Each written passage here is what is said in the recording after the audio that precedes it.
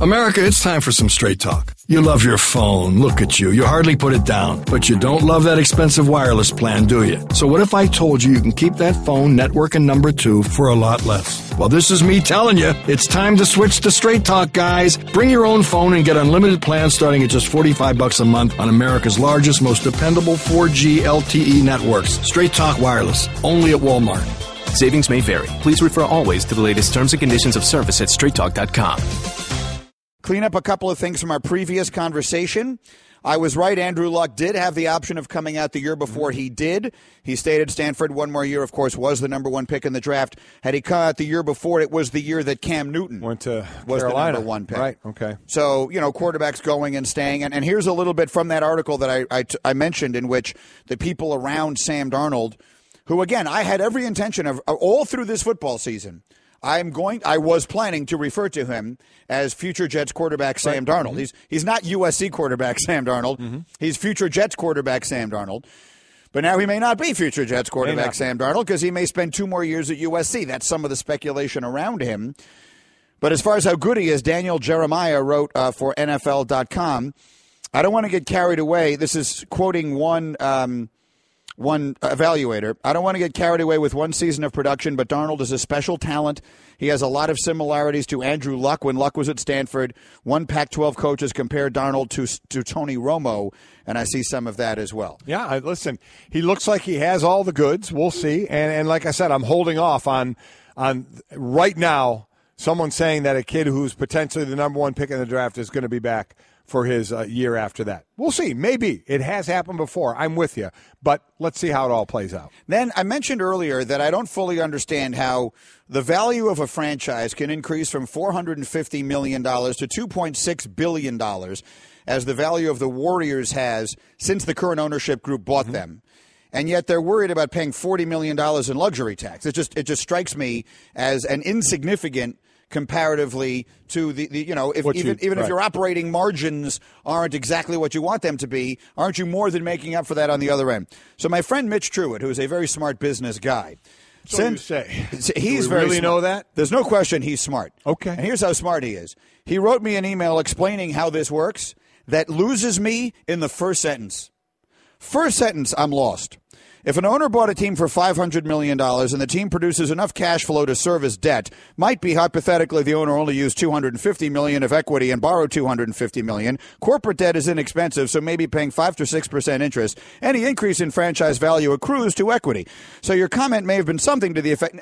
I've, I'm lost. Here's the thing. I'm I lost. I don't think he's that smart. He's a guy that's trying to sound smart to make use big quarter words out there. No, this to means lose something. to lose us in the conversation, which I was lost earlier than you were lost. Right. But he's just throwing big words out there. I contend he's not as smart as you give him credit for. I think there are people to whom what I just said made sense. Yeah. Now, this should give you some indication of how not smart we are, because we're just two sports guys. We've been sitting here all these years.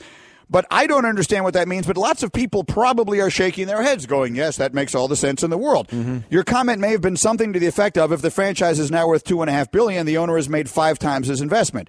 If the owner used two hundred fifty million of leverage, he or she would make ten times on the equity investment. Hence, the forty million dollar loss, which may very well include the cost of debt service, is quite palatable if it drives franchise value up."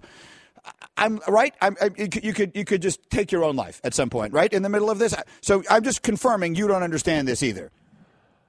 I think he's making it up. Uh, So that would be my question. Yeah. If you're listening to this and you are someone who knows what's he's going stringing on, together big words. it's because I, I I spend a lot of time with Mitch. I play a lot of golf with him. I consider him a very smart guy. I lean on him for mm-hmm. advice. he has you faked out. That's my question. Yes. That, did he just make all of that up, knowing I wouldn't understand Does he it? handle people's money because he has them faked out too? he, he he handles yeah a lot more money All than right. yeah he does. I question him. Okay, I, I'd like to get some some. I, Yeah. I need some clarity on that as well. And he, you know, he should have known to speak in layman's terms. Correct. But he didn't. Right. And, and you know what? He didn't for a reason. Mm-hmm. He tried to sound really smart and he tried to make us look dumb. Which I agree. You don't have to try with us.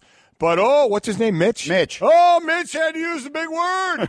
I'm Big Word Mitch. Listen to me explain value and accrued and money here goes there and I take from here and break that piggy bank. I'm Mitch.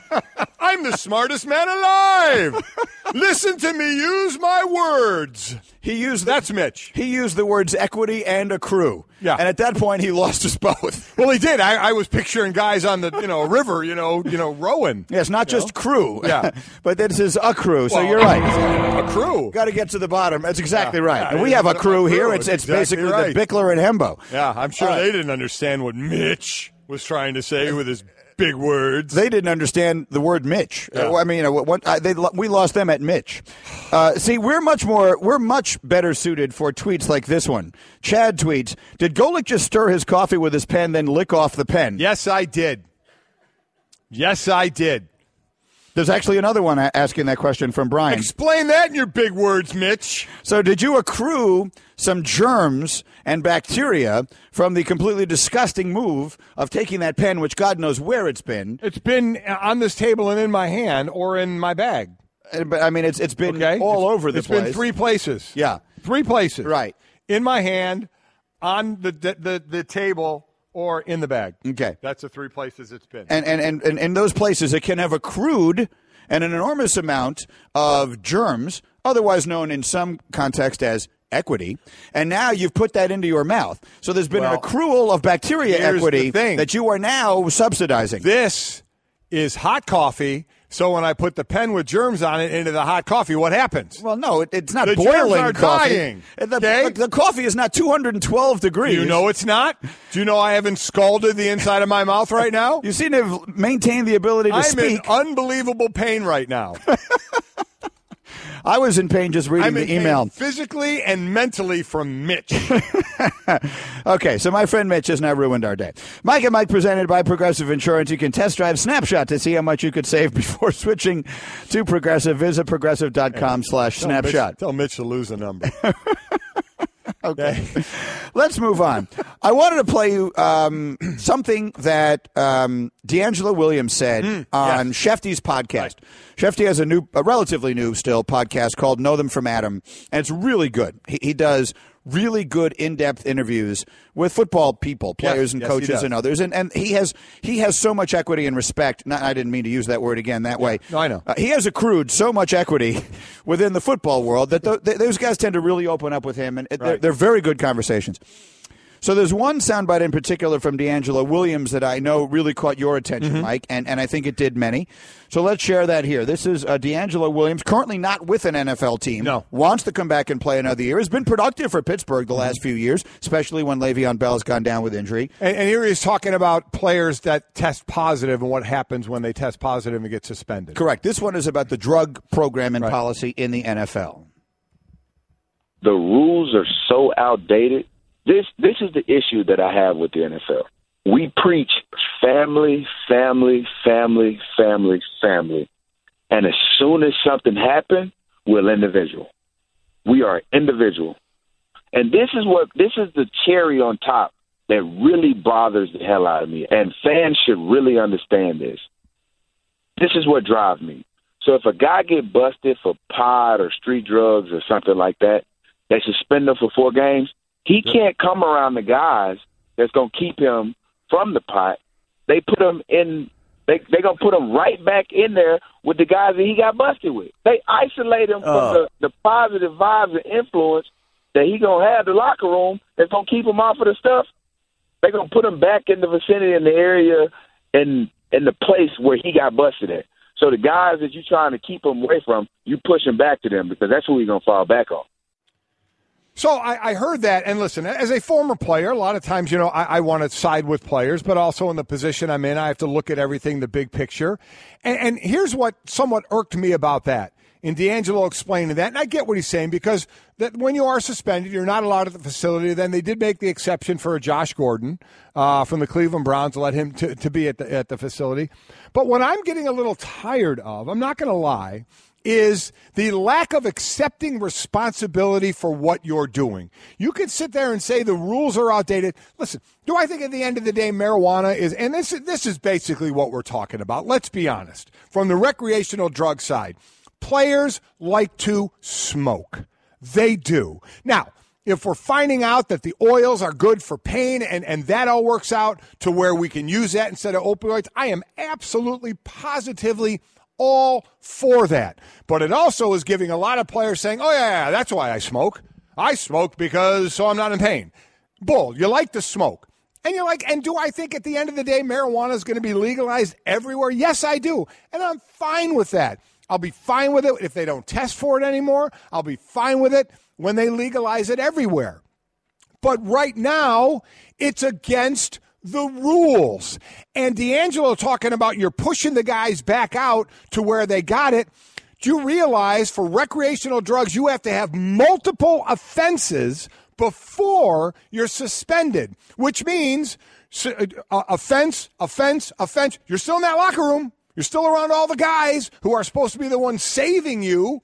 Yet you're getting, you're testing positive over and over while you're in that environment. Rarely are guys smoking alone on a team.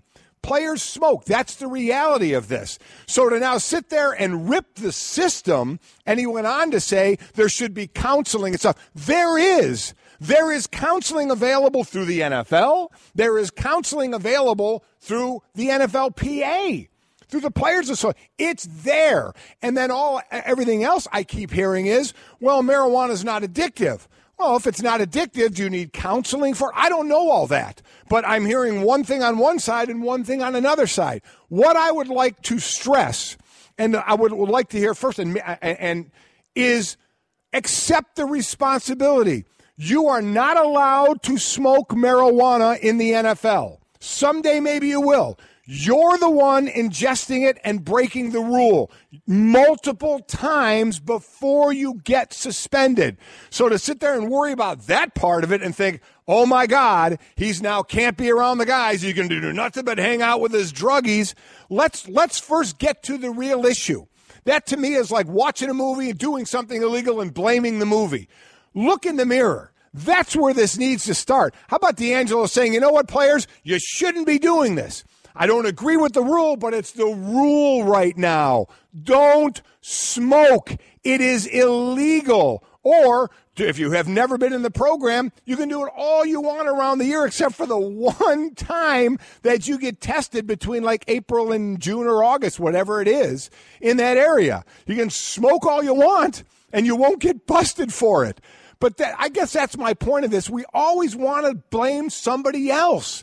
Why are we isolating the guy? Why isn't there help? Well, you're isolating a guy who's done it two or three times. And there is help available, and it's your fault you put it in your body in the first place. I just get a little tired at times. And, and, listen, if they want to change the rule and say you're suspended, but now you can be at the facility, I'm cool with that too. I, I absolutely am. I'm not saying don't change that. My point is, we do way too much, and I'm not just talking about this just made me think more and more about other things of I confess he did it or I want to blame somebody else for an action that I'm responsible for. I'm responsible. I know when I'm smoking, it's not legal in my sport. So when I get busted, you know what? It's your own damn fault for it. So don't start yelling at everybody else for what they're not doing for you because you got busted two or three times before you got suspended. That's my point. And I'll reiterate, just so it's out there, I'll be fine when it's legalized. I'll be fine if they don't test for it anymore. That's cool. I'm all that that's absolutely fine by me. And I'm really fine if we if we figure out in the in the oil form or whatever. I had a great conversation at the Gridiron Greats with Kyle Turley, who is, is really working toward this. If it can work as pain deterrent over opioids, I'm so all for it. So don't get me wrong, I am all for that. But right now, be responsible for what you're putting in your body and stop complaining about what's done after you, time and time and time again, have decided and knowingly done something that you shouldn't do. Okay, that's very well said, and there's a, there's a lot there in all the things you said. I think I agree with the overwhelming majority of everything that you just said, um, and I, I, would I would I would uh, I would compare this to my stance on a lot of the NCAA rules, which I disagree with. Right. But I do not, I right. cannot sit here and say, I disagree with this rule, so my advice to you is to, break, break it. it. Right, right. My advice to you is to try and change it. And I hope they do. Again, I hope they do in the NFL. I really do. I strongly believe that they should stop testing for marijuana right now and and, and more to the point that they should remove it as a banned substance. But if they don't want to, for the purposes of, of that optic, uh, if, if they think that's a bad optic, then they should just stop testing for it and we don't have a problem in the first place. It's sort of like when Major League Baseball, all through the quote unquote steroid era, and people say it wasn't against the rules of the sport, it actually was. There was a rule against yes. using steroids, but there was no testing for it. So unless you would just walked in and said, hey, I'm using steroids, you weren't going to get that, caught. And which is exactly where I was. Right. In, in 87 when I used steroids, it was on it was illegal to do, but it wasn't tested for. But so it was still Which is which is right.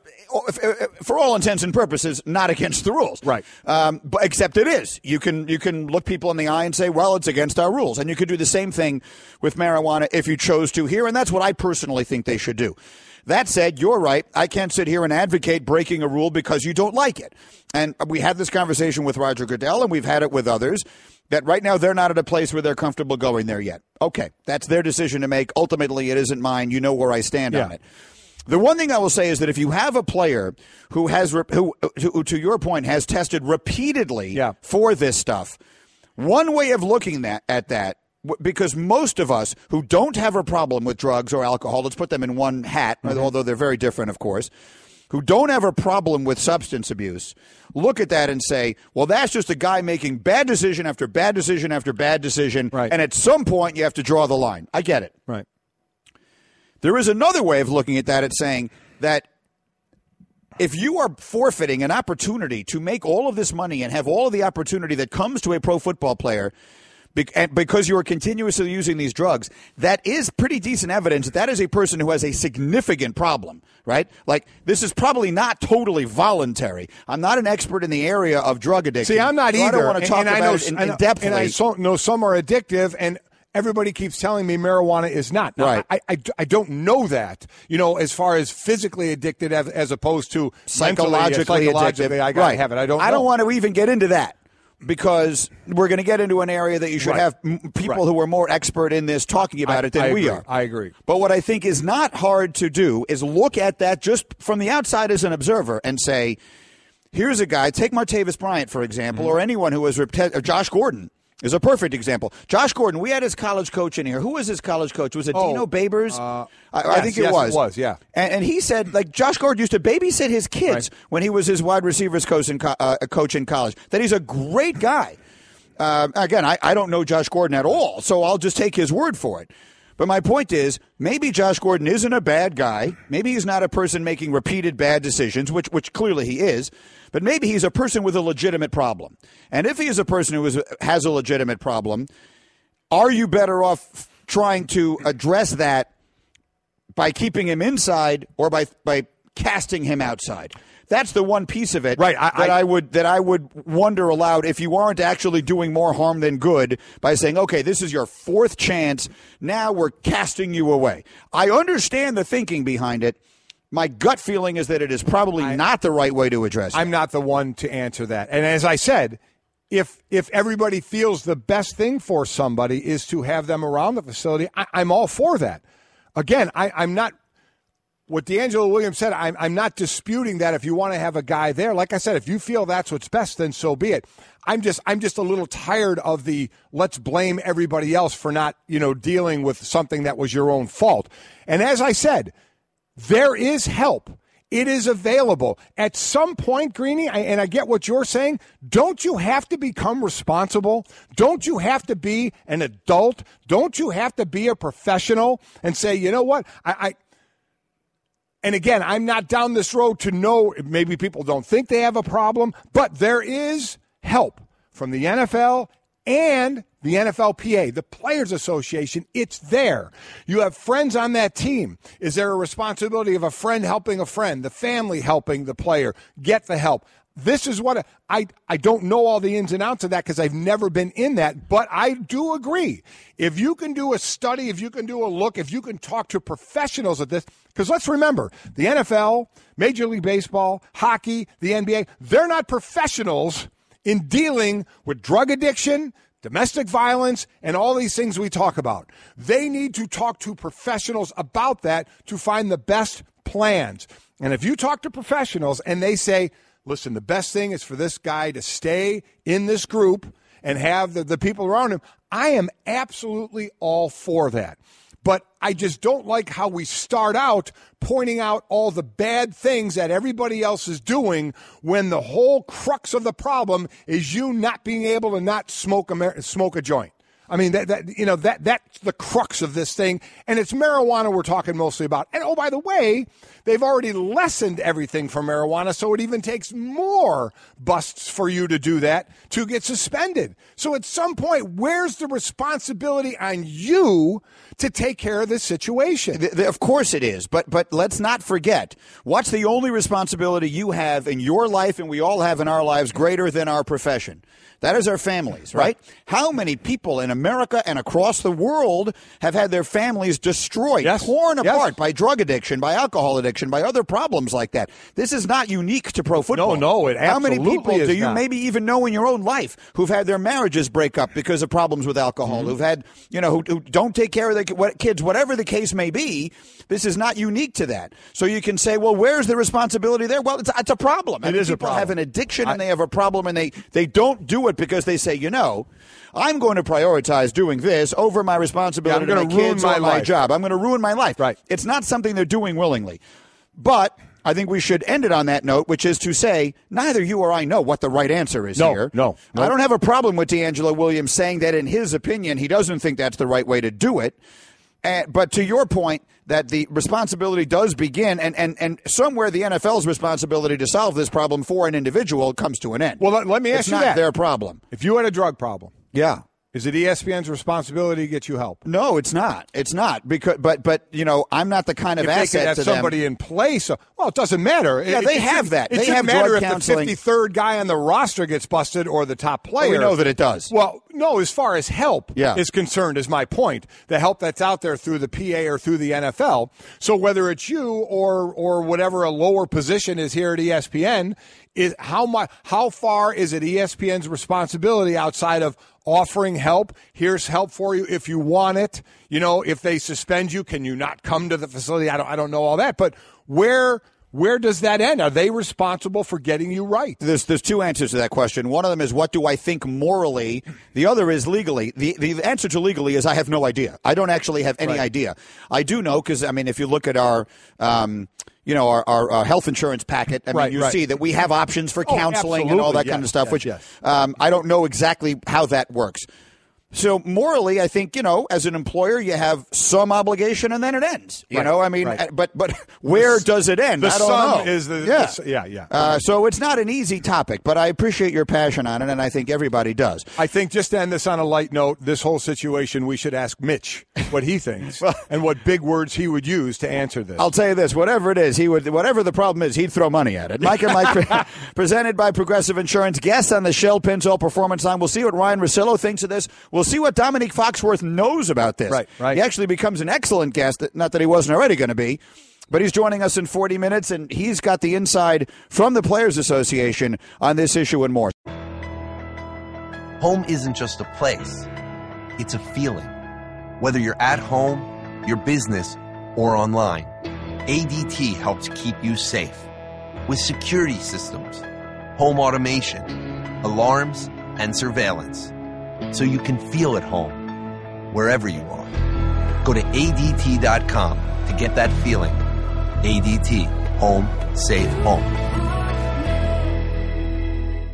Hey everyone, Mike Golic here. Support for Mike and Mike podcast comes from our friends at Rocket Mortgage by Quicken Loans. Chances are you're confident when it comes to your work, your hobbies, your life. Rocket Mortgage gives you that same level of confidence when it comes to buying a home or refinancing your existing home loan. With Rocket Mortgage, you can apply simply and understand fully so you can mortgage confidently. To get started, go to rocketmortgage.com slash Mikes. Equal housing lender, licensed in all 50 states, NMLS consumeraccess.org number 3030. There's an enormous amount of Mitch response in our Twitter here. Uh, there's a hashtag big words Mitch, and I just want to tell you. So my friend Mitch, after he sent me that email, I wrote him back. Did you hear the conversation that ensued? And he wrote me back, No, I'm on the train. And I just wrote him, I have a feeling you're Oh, going to hear about it. Oh, he is. Yeah. So let's see how his day goes. Anyway, Ryen Russillo has made his way in our studio here. How are you, Ryen? I'm good, guys. How are you? Good. Good. We are well, and you look very nice. you Yes, are you do. be suited. Um, all right, great. we just had a very interesting conversation that stemmed from DeAngelo Williams' comments on Schefty's podcast about the NFL and the way that if a player tests positive for street drugs enough times, they ultimately sort of cast him away. And DeAngelo Williams to, to, for his suspension, he can't be around the facility. And DeAngelo Williams has a problem with that. And Mike, in, in, in very passionate terms, you know, describe the idea that when does this become about personal responsibility and stop being the team or the NFL's job to take care of someone if that person isn't able to take care of themselves, which brings up the whole issue of dependency and, and, and addiction and all of that. So I know I've put a lot on the table for you here without the context, but just from a general sense, what do you make of that? DeAngelo Williams basically suggesting that the NFL preaches family and then casts people aside. Yeah, I don't know. I don't. I don't really agree with him on actually anything. Uh, I've heard him talk about this before, and I know the Steelers have had teammates where they go, you know, just keep sending me away. Like when you get popped for for weed, you screw up in the NFL. It's basically set up for you to get tested in this window, and then you're supposed to know it and figure it out. So, you know, because they run football as family ads, which were clearly a response for a PR thing. You know, during all of a sudden it's like, hey, watch football, have sex, you'll have a baby this summer. Um, You know, I mean, that's basically what the ad was. Uh, it, it doesn't also mean that you're supposed to treat it as if every player on a roster, all 1,500 plus, are somebody's son. I I think any place that you work at is sympathetic. Uh, you would think most places are sympathetic to a degree. And then after a while, it's like, what are we supposed to do? What are we supposed to do? So if you get popped five times and it is a dependency thing, which we become more sympathetic about, like we're just supposed to keep letting you be around the team. Like I just, I can't imagine getting to the point where it's like you're going to lose all of this stuff if you can't stop smoking weed. And you know, I've I've had friends that that when I work construction, I've had friends in college, and it's like a daily routine. Yeah. And it's like I cannot believe like this is your deal. And then you know, eventually you turn like thirty or you turn in late twenties, and you go, I got to figure this thing out. And they don't have anything on the line. You know, I was working construction with these guys, and I don't. I, I mean, I don't really get his point. And this is after he had said on Schefter's thing where every player should be a max player in the NFL on contracts. These NFL players don't seem to understand the NBA economics. As apparently, like 53 being greater than 15 players on a roster, like they can't seem to understand that. So I uh, I disagree with him on this. I mean, the players, NFL players. I'm sorry, their math of the, you have a four times as big as the uh, even though you make twice as much money, you have four times as big as roster. The math doesn't work for the numbers that they want. And and let me put some numbers to it, Greeny, for actual marijuana violations. To get a one year banishment, you would have to violate the marijuana policy six times.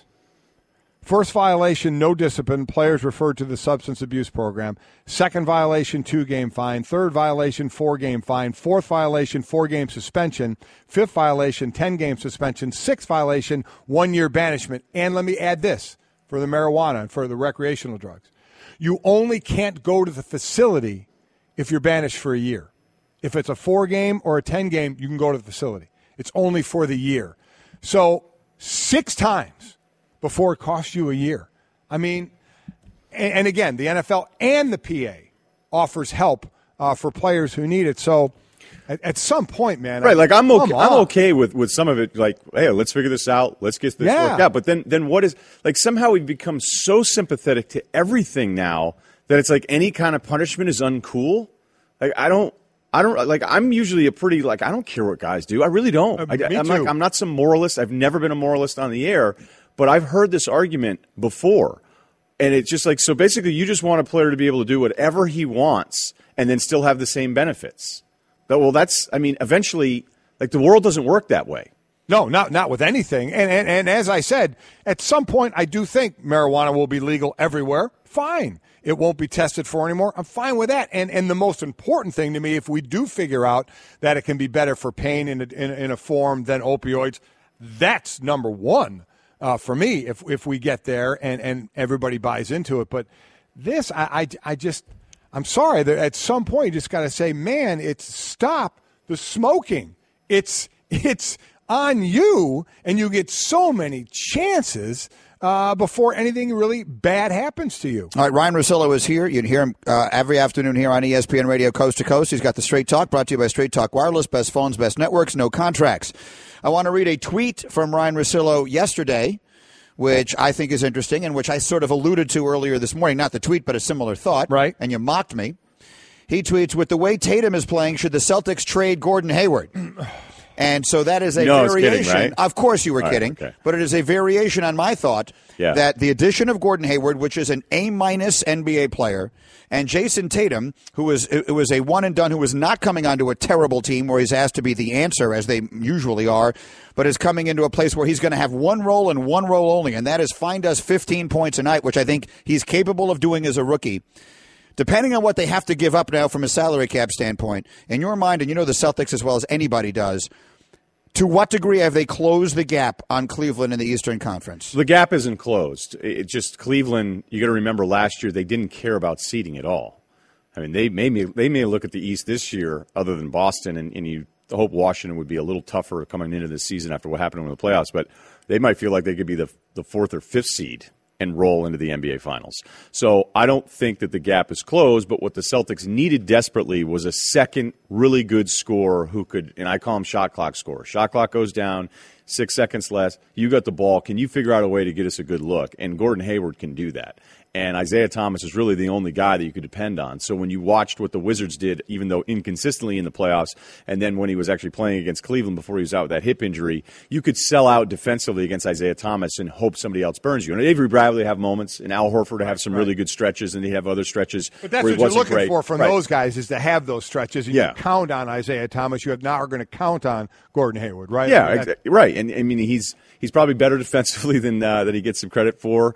You know, he's a guy that has done a great job, especially two of the last three seasons, the way he shot the basketball. So you're trying to find of the seven or eight guys that you play. Like, how can we maximize out that talent? Because Jae Crowder's a pretty good player, and he's an incredible contract for the next three years at about seven million plus. And then you look at how good Tatum, I think, will be. And you know, they like Jaylen Brown a lot after last season. I think it's one of those things where you go, okay, yeah, we like some of these other pieces, but this is one of our five guys that's in that top twenty range that we can have out there all the time. So it's an improvement, but they still probably would like to add even more shooting and more specifically somebody around the rim that can not have Horford playing center the entire time because they were one of the worst rebounding teams of the playoff teams in the NBA last year. You were in a suit, which suggests to me you're doing Sports Center. Can I keep you a few more minutes, or do you have to run? yeah, let's talk LeBron. Okay. Uh, t- Okay. Oh, I I didn't know if you were being serious. or A kidding story you will not believe. about LeBron James. Yes. Okay. Coming up next. Okay, Kevin, for the grand prize of $1 million. What color is the White House? Um, I know this. I know this. I know this. Um, Five seconds. oh, switching to Geico could save you a bunch of money on car insurance. Okay. Judges? That's true, Kevin. They'll allow it. Congratulations. You're a winner. Geico, because saving 15% or more on car insurance is always a great answer. You uh, have the much more provocative tease. You said a story about LeBron. I won't believe. What do you have? Okay, so when I talk to teams, this is really before the draft and you know throughout free agency, we just all love gossiping. We love it, right? We love it. Hey, did you hear about this? What's going on here? And it always, with a lot of teams, that come back like, what do you think happens with LeBron? And everyone, it feels like around the league and the way we've talked about it publicly in the media side of things, we've already packed his bags in 2018. And you know what? He may leave. I'm not here to tell you that he's absolutely staying in Cleveland. But what I'd ask you is, at this stage of his career, turning 33 later this year, he's still the best player in the league. This is still about rings. So, in what situation, and I understand how much things can change, in what situation is he going to be better off in 2018, a year from now? What's better that would be better than Cleveland, even though I know Boston is, is getting closer. We know there's some other teams that could get better. But on paper in 2018, what destination is going to be a better lock of getting to the NBA Finals than staying with Cleveland, a Cleveland team that likely can still figure out a way to add an asset or two with an older player or something that they decide to do through the trade deadline? So I think everyone around the league has already loaded up the moving trucks here for LeBron, and I don't think he even knows what he's doing next summer. And yet it's being talked about as if it's a certainty.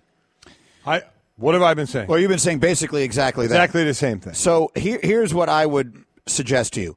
The last thing you said is the one I agree with the most, which is I don't think that he knows what he's doing to the extent that what happens this year will inform that, right? If they win the championship or something like that, he probably doesn't leave. Any number of things could happen. If things go really sideways this year, whatever. If he wins, by the way, and it was brought up to me just to jump in, like who would win a title and then leave their hometown?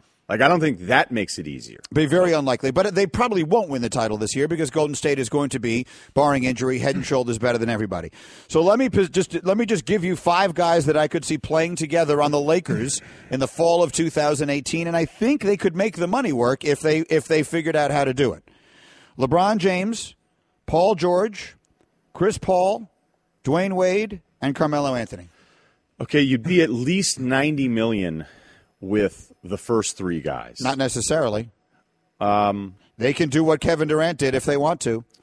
If Yeah. first of all, Dwyane Wade and Carmelo Anthony are, will, will be free agents. They can sign for whatever they want, and You know no one is paying them twenty million dollars a year anymore. You got. Can I Chris just say no?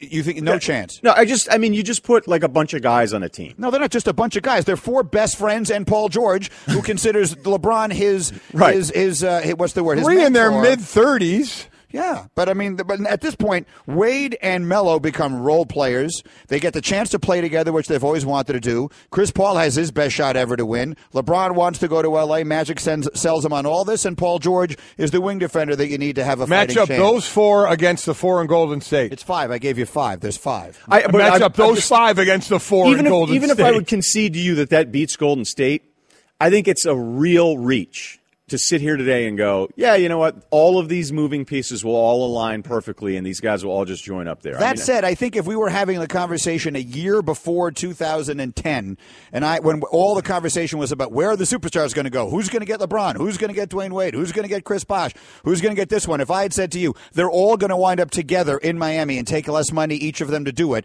we might have, some people would right, have but said Greeny, you just far-fetched. you just put five All Stars on a team, and none of them are on that team right now. Um, that's true. yeah, yeah, that's true. That's true, but that's the place they want to go. How do you know? Because everyone How do you know? it. Because, everyone everybody at the end of says the day so. wants to I be mean, a Laker. again, just what Ryen said, and I've been screaming. Uh, How do you know? All of a sudden, this is that- where everybody wants to thing. be. Like I heard Zach Lowe with you guys yesterday. I thought he was great, and he's like, "Look, this is a guess, but the guess is that he's out." And then it's like, "No, he has an entertainment thing."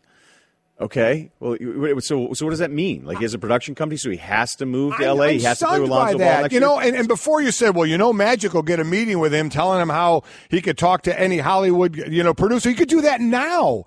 Anything he wants to do, he can do right now. He's already Ryen- making TV Ryen, shows. I'm with you. To sit there and say he's going to go to L.A. because part of it is he wants to be in Hollywood, to me is ridiculous. LeBron James is about rings right now. His best chance to win a ring is in Cleveland to get to the finals for the next three years to at least have a shot at a ring instead of trying to manufacture a team that you hope will come together and beat Golden State. I, I, How mad are you right now, Green? I'm not mad at all. I'm going to wind up looking like a genius on this thing.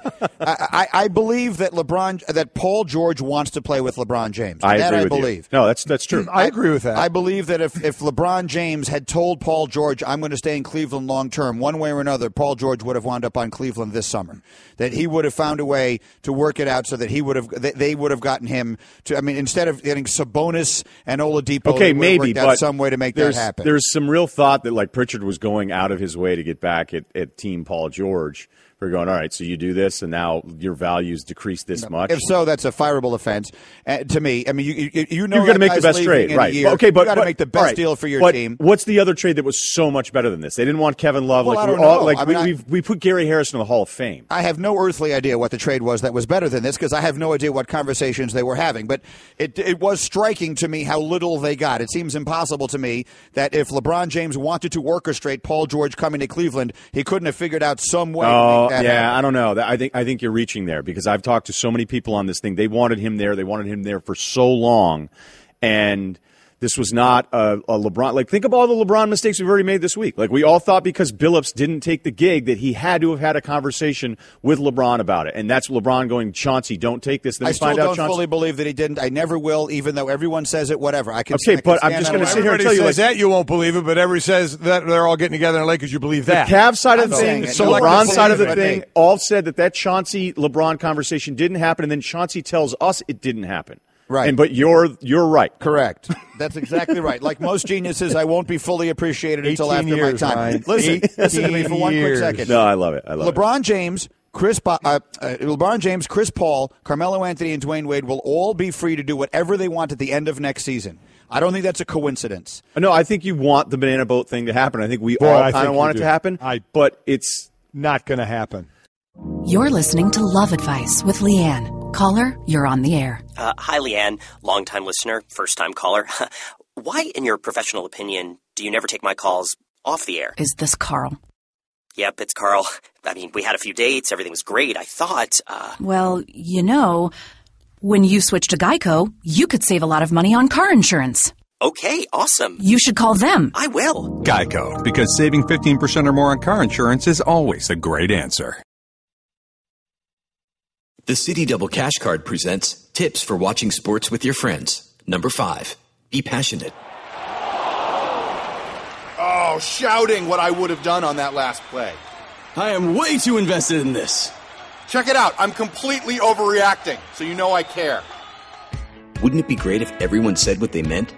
The Citi Double Cash Card does. It lets you earn double cash back with 1% when you buy and 1% as you pay. The Citi Double Cash Card. Double means double. Couple of different things in here. I'm telling you right now, I'm going to be the one who got this No, one you're right not. on LeBron. I No, am. you're not. I'm going to get this one right. It's just amazing how you believe what some people play and don't believe what others. You- You're so selective in your believing of what people say. yes, I have selective belief. Yes, you do. I have I have selective uh, You do. You do.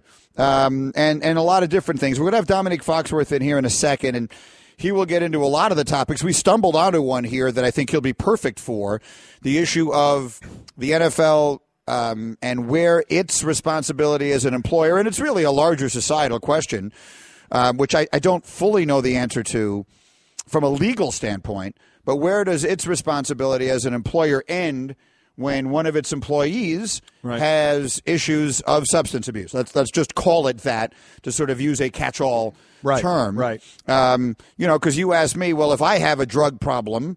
Where is ESPN's responsibility to help me? And my honest answer to that question is I have no idea. I, I, don't, actually either. know. I don't either. I, I know they would have programs for help, just like the NFLPA does, and Domonique Foxworth would be great to ask about that. But it, it, it turns to be an interesting situation. But just the way it was first phrased with DeAngelo uh, Williams in, in the podcast by Schefty, I just I just thought to expand the, the conversation a bit. Well, let's do it. We've got Domonique ready to go. He's on the Shell Pennzoil Performance Line. Get instant gold status at Shell. Join the Fuel Rewards program now at fuelrewards.com slash gold. You hear him on the Morning Roast and frequently with Dan Le Batard and Company and all sorts of other places. Our friend Domonique Foxworth is back with us. Good morning, Domonique. Morning, guys. Well, we had a bunch of stuff planned for you, and then this DeAngelo Williams comment really got Golic going, and, and you're the perfect person to get perspective from. So let me set it all up for you and for everyone who may not have heard it. This was DeAngelo Williams, longtime NFL running back, on Adam Schefter's podcast this week, talking about um, a, a one particular piece of the NFL's drug program. the rules are so outdated. This this is the issue that I have with the NFL. We preach family, family, family, family, family. And as soon as something happens, we're individual. We are individual.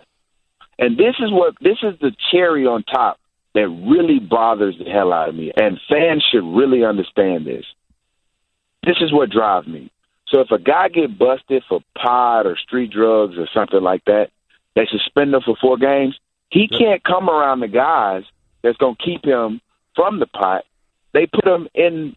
They they gonna put him right back in there with the guys that he got busted with. They isolate him Oh. from the, the positive vibes and influence that he gonna have the locker room that's gonna keep him off of the stuff. They gonna put him back in the vicinity in the area and in the place where he got busted at.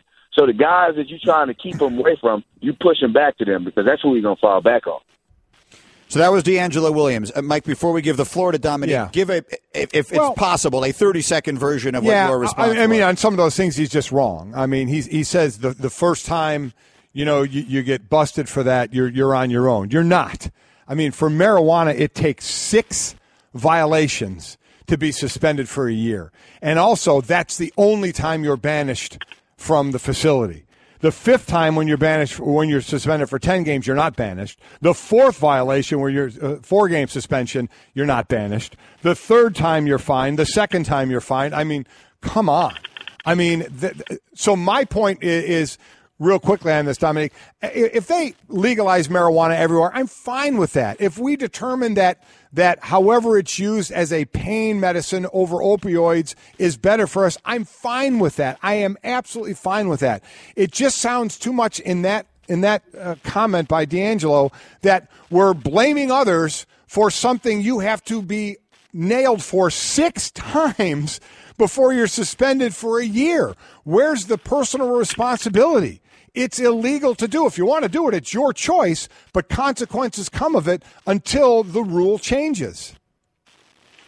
Yeah, I mean, I, I it's hard to disagree with you there, but I think we don't want to get caught in the in the um, kind of the weeds of discussing exactly how many um, violations it takes to get suspended. I think the the general point of what he's saying, I think, is is fairly accurate in that the NFL does talk a lot about family, and it not even just the commercials, but like in the locker rooms. But somebody like DeAngelo and, and veteran players know that that family stuff is is not accurate, and they are out for uh, not that they don't care about the players, but profit is their most important motive. And if you are no longer serve any purpose to them, then you have to go. I think that where I struggle with this is people want to draw a hard line between where it becomes the league's responsibility and where it becomes the player's responsibility. But I think those things over overlap. I think the league has this um, has a unique population, and that unique population, I think, it becomes somewhat their responsibility also. Not to take any onus off of the players, but it does also become their responsibility. You can't have uh, cultivate or encourage these guys to cultivate this kind of myopic view of the world where there's nothing more important than football. And then if they've made too many mistakes, then you cut them off and send them out into the wilderness without uh, any resources. I think oh, oh. that is a fair criticism of the league and, okay. and any company, frankly. Should, should it be a fair criticism? You, you just said the league says it's family. What do we talk about in the locker room as players, Domonique? That we're family, that we're brothers in arms, that we're family as well. So now, after the second violation, you've been fined two games, and people kind of know what the deal is. Where's the help from the brothers within that that doesn't lead to the third violation, the fourth violation, the fifth violation, the sixth violation, and now they're suspended for a year? We want to point our finger at the NFL, which they offer programs, and the NFLPA as well offers programs. I guess my point is, I, I just get a little tired of blaming others for something that you're doing. And if you want to throw the family thing around, that's the one thing we always talk about in the locker room. We stick together. Then where's the help right. for that player? before he gets the third, fourth, fifth, and sixth violation from his family in the locker room. Yeah, so I agree with you, and I think I, at no point am I absolving the players of their personal responsibility, but I do think that it's also uh, responsibility of the team and the league, the team and the league and their teammates. I don't think that pushing guys out is the solution. And I think I, I heard uh, you guys on with Ryen earlier, and I have the complete opposite reaction to than you Golic and Ryen when you hear about a guy uh, failing like the easy to pass drug test and then failing it again. My reaction isn't so uh, this guy can't control it or this guy is making poor decisions, my reaction is is that he doesn't want to be suspended. So what is it about this situation that is too big for him and how can we help him? And just having programs and I mean my experience at the NFLPA and my respect for the league, I, I'd say this as respectfully as I can, is just having pro- programs is a good thing to say when something like this happens. But if the programs aren't effective, then what's the point of having programs other than just to, to roll it out there and to kind of cover your own butt and say, we did our job, we did the best we could, this guy can't be helped. But I think when you have such a unique population and a unique business that the NFL has, they do have to take on a little bit more responsibility because it's not like if a guy makes enough mistakes, he goes off and plays in the other NFL. It's not a normal job. It's not a normal situation. And again, I try to reiterate this. I'm not saying that the player doesn't have responsibility, but I think that that um, kind of in the Venn diagram of responsibility, a lot of it overlaps where the player needs to get control and want to take control, and the league and the team and their teammates they have some responsibility also because I do believe that that um there's something about that fraternity and being in in football and there's nothing brotherly about putting a guy out when he's in his time of need and he has no other resources. What about the responsibility of the PA in their programs? I mean, we could just as easily say they're not working either.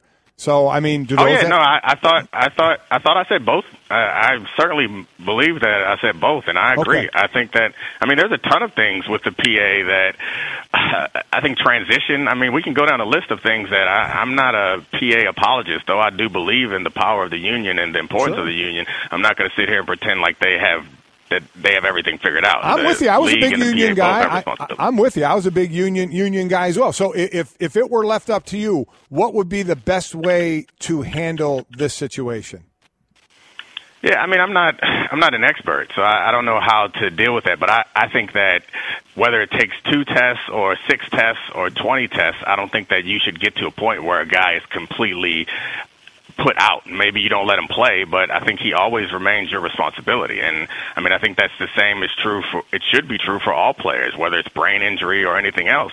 There's a lot of money being made, and a and a great deal of the sacrifices fall on the players, be it their bodies or their future earning potential by completely being myopic and focusing only on this sport. There's a lot of sacrifices made by the players, and I think whether they make mistakes or bad choices or, or, or not, I think the responsibility to make sure that they live healthy and happy and uh, uh, long lives afterwards falls on the the players and the league and the union. So I mean that's that's my only point. I'm not saying that the players are without responsibility, but I think that the answer should never be, "Up, you messed up too many times. All right, go figure it out on your own." I think that means that we haven't figured out the right way to help that particular player.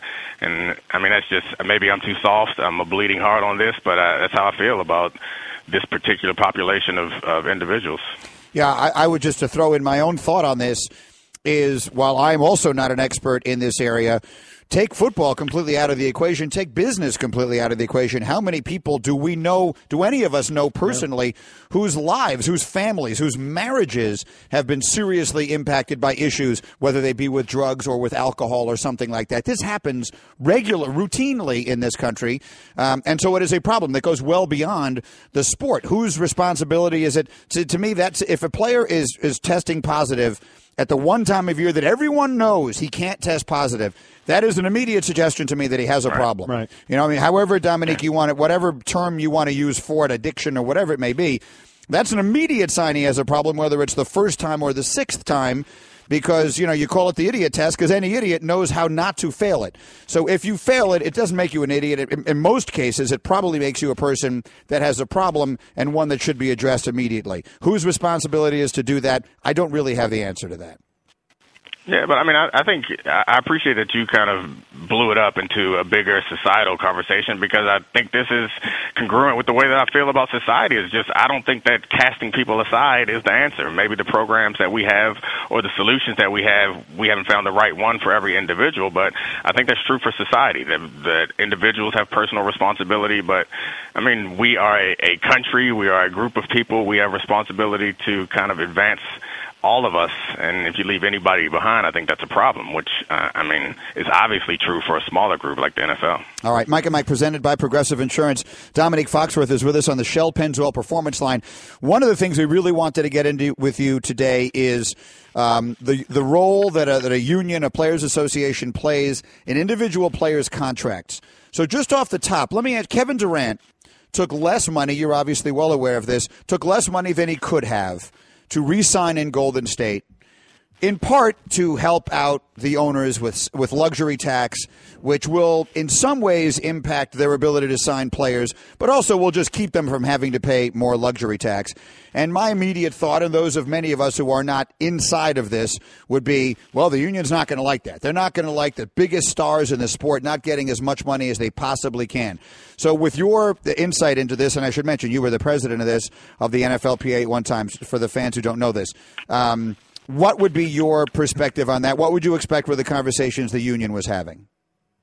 Well, there's a, a hard percentage for both the NFL and the NBA of revenue that must go to the players. If the teams don't reach that revenue, then uh, they have to pay it to the players in a lump sum after the season, and it's uh, incumbent upon the players to, to decide how to divvy it up. So I'm not sure that the union necessarily cares who takes the money.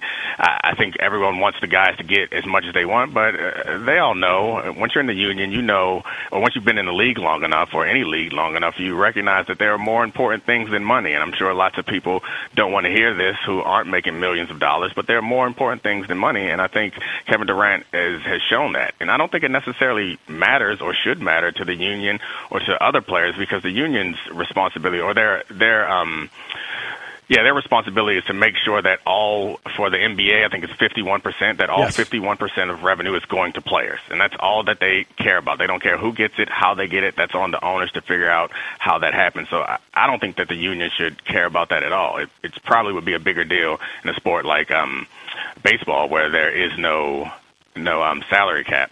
But in in um basketball there is no salary cap but they have the luxury tax so they could potentially go over it, but I don't think that they care necessarily which players get the money as long as the players are getting their money. Okay, the, the, largely that is the right point. I do think what if you sort of if you start absolving owners of having to go into a luxury tax and, and put a system in place, the, here's what the NBA owners did brilliantly in their CBA. They put a ton of things in there to protect themselves from themselves. Right? Like you can't go over by this much, otherwise you will start losing your ability. They're just afraid that there's three or four guys who will spend whatever they need to spend to try and win, and they don't want that to be a decisive factor in the way that Mike it felt like it was in baseball for a long time and has ceased to be. Yeah, that, that's exactly So- right. And, and, and to put numbers to what what uh, um, Domonique is saying, if 51% of the revenue for for a number's sake in the NBA of a 15 man roster, 30 teams, is 450 people divvying up 51% of six billion dollars, and for the NFL. It's 53 players, so you know it's a little less than four times as much, and divvying up twice as much money. So the math just doesn't work out. And, and for the NFL, I think it's between 47 and 48 percent uh, that they get of revenue. Uh, Nick, if if Andrew Luck or Derek Carr or Khalil Mack or insert monster player here demands a guaranteed contract, how do you think that would play, and could they pull it off? I mean, they absolutely could pull it off, but the tough thing is a lot of the great players in NFL never make it to true free agency. So uh, you can get whatever your leverage dictates. And are you telling me that any NFL team, if Andrew Luck or if um, Aaron Rodgers got to true free agency, that any NFL team wouldn't give them every dollar they had and probably give them their firstborn child to get that guy there. So they could certainly get a, a, a fully guaranteed contract. I'm not sure that they would ever let the players get there. And since the game is as dangerous as it is, when you get a, a big number slid across the table to you and you have a couple years left on your deal, you're going to take that number. So I think that's the challenging part about getting fully guaranteed contracts in the NFL. It's obviously something that is is not prohibited. They can do it at any point, and a great deal of their contracts are guaranteed. But if any player, I mean, you named all the big name guys, Von Miller, you. If you imagine that any any of them actually reach true free agency, but I mean, I think that's the big problem with the franchise tag. Why players hate it so much because that's what keeps them from true free agency. I think Cousins is the guy that we should be watching because he's going to get the true free agency because a third year franchise would be quite cost prohibitive for the Redskins to do. So, and I, mean, one more point about the sports and and the percentages. I'll, I'll look back into it and double check, but um, the Major League Baseball doesn't have a salary cap, as everyone knows. But I believe the percentage of revenue that that, they, that goes to the players is less than both basketball and football. So it's kind of counterintuitive how we talk about these things about how much money is going to the players, and we assume that the salary cap. Uh, is always or not having a salary cap always benefits benefits all the players, but what it actually does is benefit the high end players and the lower end players get squeezed. So I'm certainly a proponent of eliminating the salary cap, but it's important to understand that there's a bunch of different mechanisms that operate within the CBA other than just a kind of a hard salary cap number. A really interesting point. We have Hembo looking that up for you right now, so we'll have the answer in just a minute. In the meantime, Domonique, we were both struck, Mike and I were both struck by the number of NFL players that over this past holiday weekend, when all this money was getting thrown out to basketball players, all these NFL players saying, hey, our sport makes more money. Why do we make so much less money? Why is there so much less for football players than there is for basketball players. Again, as a former leader of the union and a former NFL player for a long time yourself, what was your reaction when you saw all these football players having that reaction to the NBA money?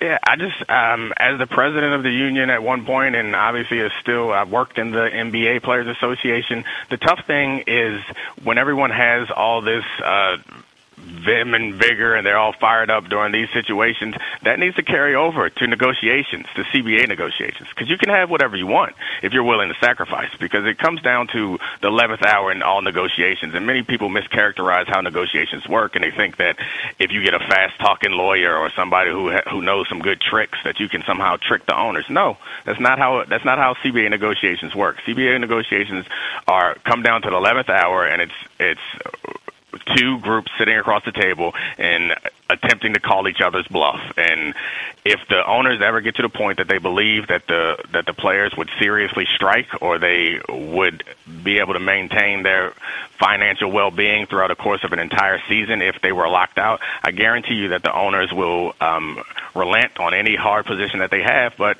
the owners have so much more um, leverage and power because they are billionaires who have a lot more influence in the media and elsewhere. So it's a tough thing. I mean, there's a we've talked about this before. I think just the power asymmetry between sports unions and um, and and leagues and owners, because most of the players, especially in the NFL, they uh, they turn over players so quickly.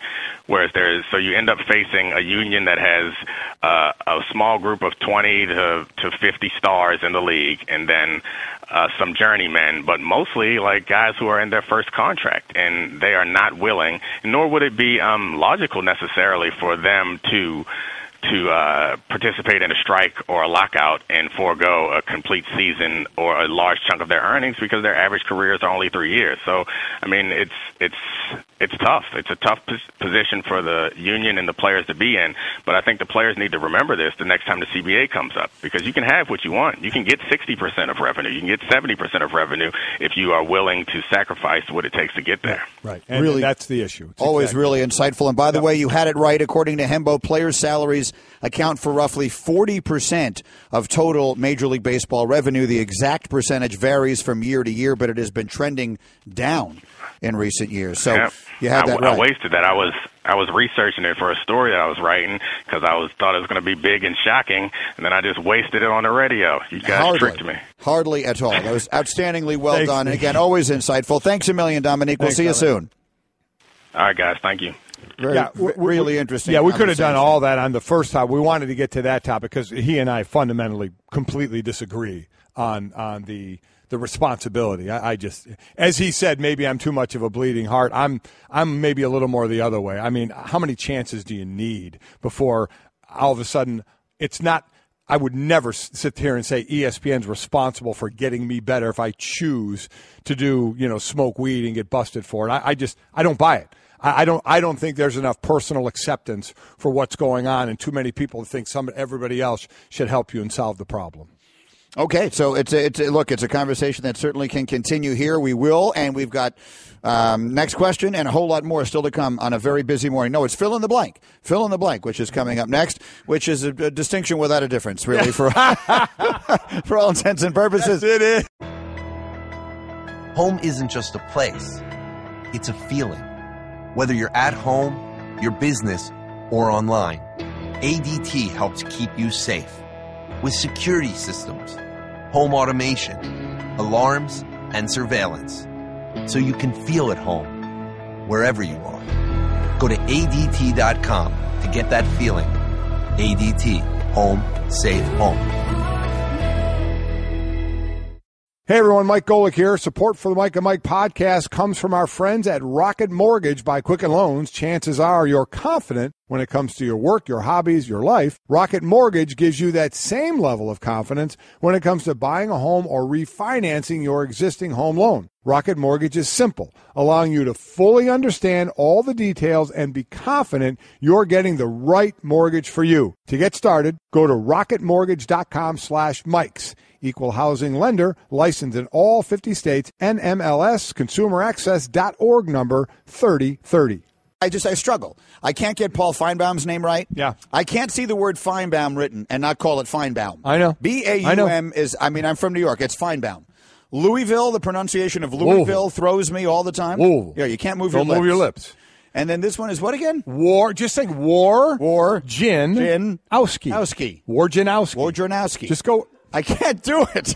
I don't know why. I'm struggling. You are listen, struggling. I respect the guy enormously. No, yeah, I He's- know you he's do. A phenomenal Yeah, insider. he was mean great with like us yesterday. You just can't say his name. I'm just going to go with Woj. Everyone calls him Woj, right? It's, all his stories are Woj bombs. I'm just going Listen, Woj. let me handle the words. I speak gooder than you, You so do. let me There's do no that. question. You've always talked more goodly than Yeah, me. yes, I have. So let's get back to that. Okay, I, I, go ahead. Real quick on a side note about DeAngelo Williams, he was fantastic in wrestling. Yeah. With his WWE, did you see him? I did not. I know he was Holy doing it. Smokes, that was his first time, correct? Am I? He was great.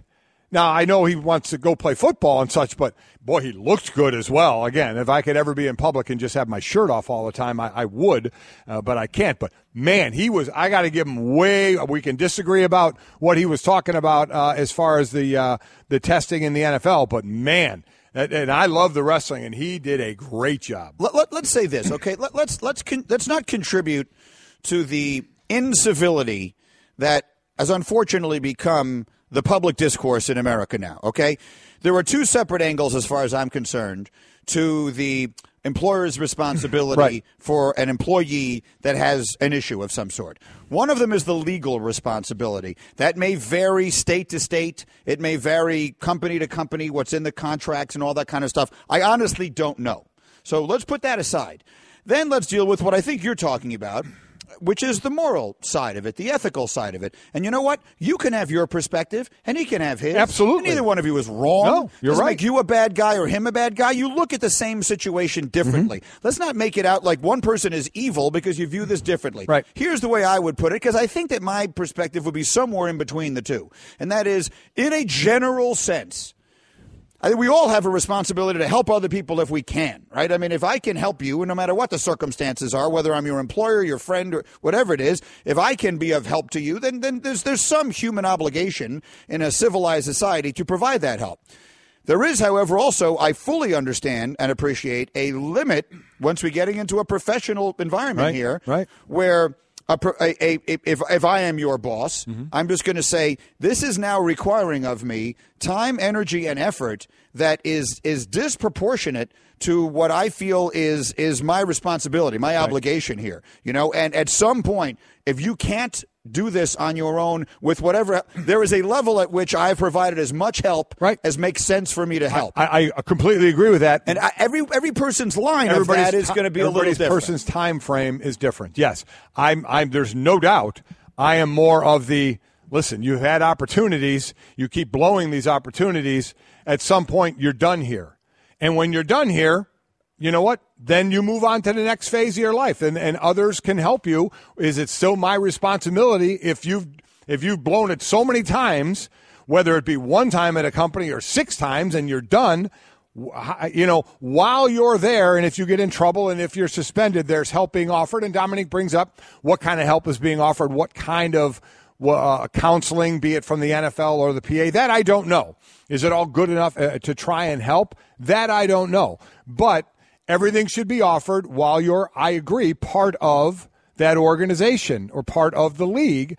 But once you take it to the point of you're not in the league anymore, you've blown this too many times. You, again, you, because you did it, personal accountability, which I don't think is done enough in this country. And, and that's what starts to rub me the wrong way is when we want to tell everybody else what they're doing wrong because you have the problem.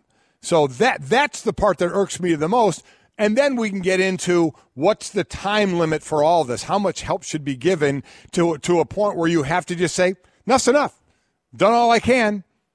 You're not in this business, whatever it is anymore. Somebody else going to have to help you now. Right. We've done all we can. But to be clear, all we're doing is figuring out where that line is. Because I know you don't think the first time a player gets popped, the team should just, the league should wash their Absolutely hands of not. it. Absolutely so it's not. somewhere between that Yeah. and forever. But six times? right. So the answer is somewhere in between. Yes. Right? That's that's what the answer to this is. It's somewhere in between. Maybe where it is now is just fine. Maybe where, I mean, how many players does this actually wind up impacting? I can think of two off the top of my head. Martavis Bryant got suspended for a year. Right. And Josh Gordon got basically banned, I think, for life with ability for, you know, Come back, it got denied. The for, to try and come back, he got denied. And there have probably been others that I'm, are not jumping into Sure, my head right, but sure, it's not sure. like this happens to ten guys a year. No. So the system as it is isn't totally broken.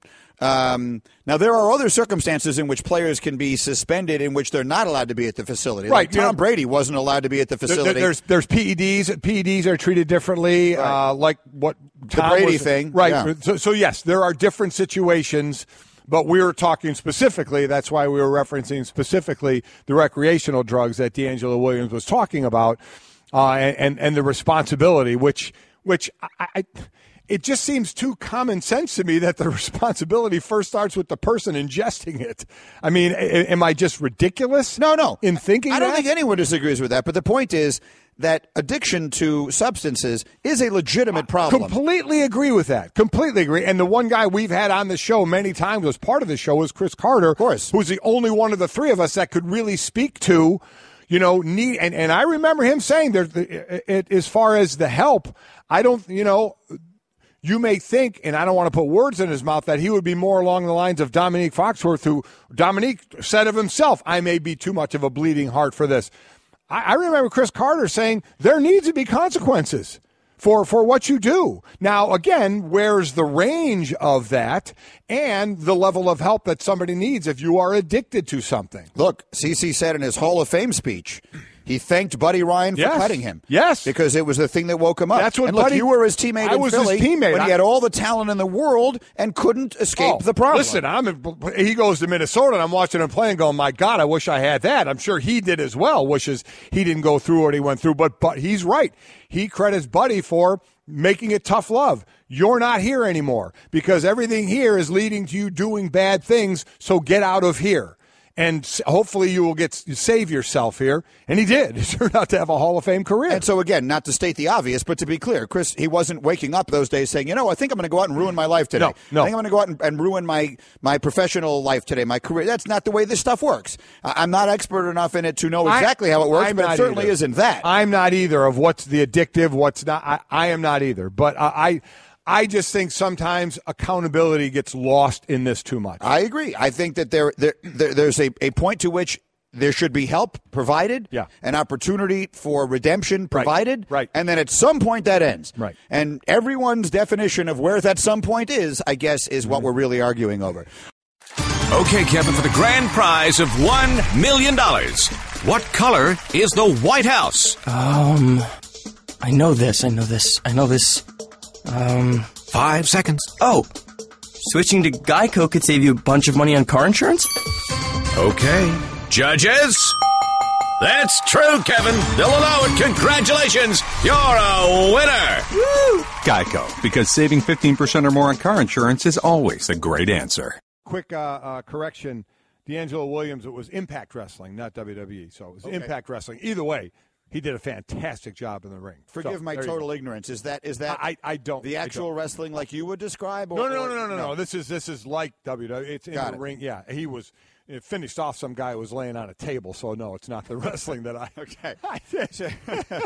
so uh, what was this? The Yeah. guy's name? Uh, uh, oh, his name just jumped out of my head. The superstar that we always reference, who's the greatest wrestler of all time. Dan time. Gable? He never did that. No. no. And the other one, the younger Every guy. time you do that, No, Dan Gable gets madder one? I know. and madder. That's and why I must never see you. Dan He- Gable. You ever see him? He is going to pop you. Yes, which I don't need. and I am not going to stop him. He's the greatest wrestler of all time. I'm me. That's not a very good fight. yeah, you just I don't know Who's why guy I'm thinking of more recently who never lost? Cael Sanderson. That Sanderson is Yeah. the other one I was thinking of. Okay, Mike and Mike, let's fill in the blank. That's brought to you by Mahindra Tractors and Utility Vehicles. Mahindra USA, the world's number one selling tractor. The staff has put together some sentences and conveniently left out a word. And it's our job to fill that in. Here we go. First, the most significant player to switch teams so far in the NBA offseason has been blank. to switch teams. I'll say Gordon Hayward again. I'm going to stick with that to see where it goes. Because I don't think Paul George or Chris Paul will be with their respective teams after next year. A, I, I think a close second, or maybe even first. I, I, Jimmy Butler is another one. I, I I think what could be going on in Minnesota. The only reason I give it to to Hayward over Butler is Butler's still now in the West, and the West is a tall, tall order. And you know now in Boston, where Gordon Hayward is, and what they're going to try and build there, we may see the fruits of their labor sooner. Yeah, there's a lot of different ways to parse the word significant, but I will go with Butler because I think Minnesota is the team to really ascend.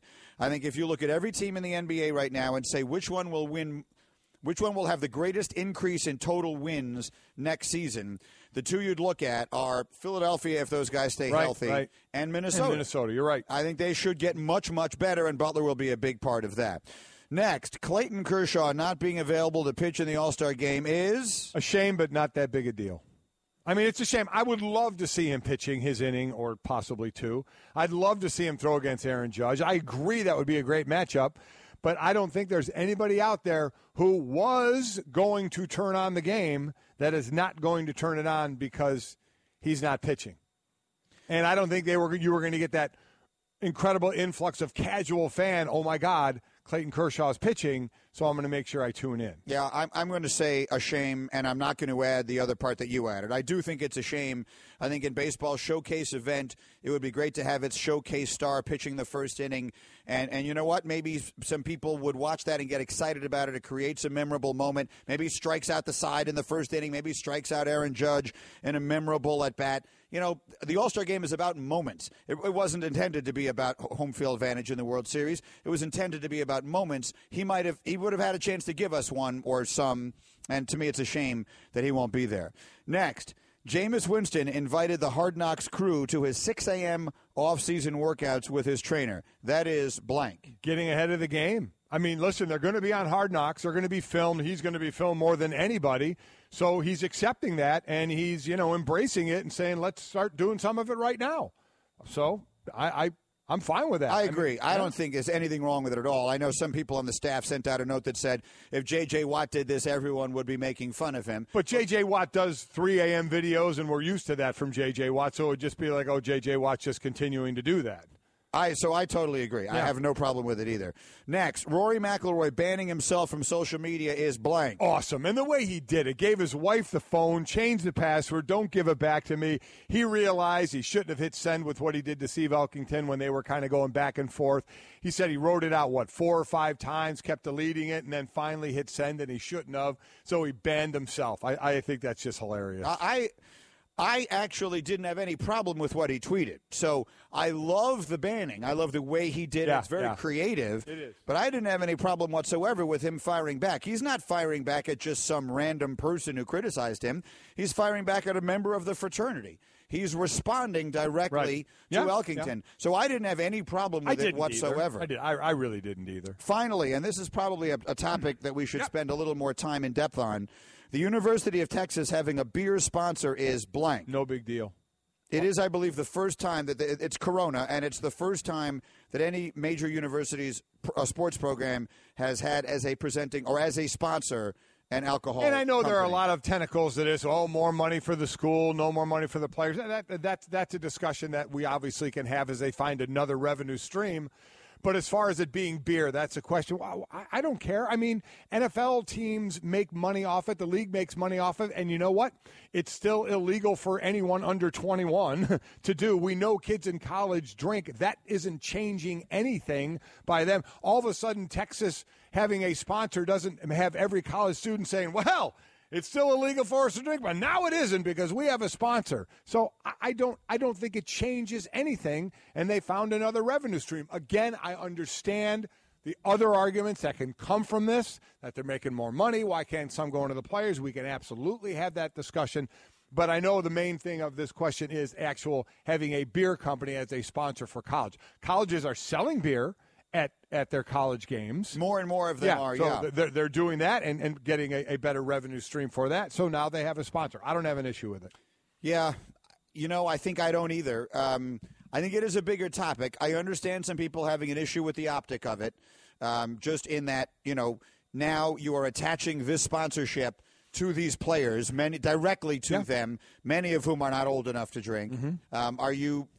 Tacitly encouraging drinking amongst underage people and all that kind of stuff. But my general honest response is the same as yours.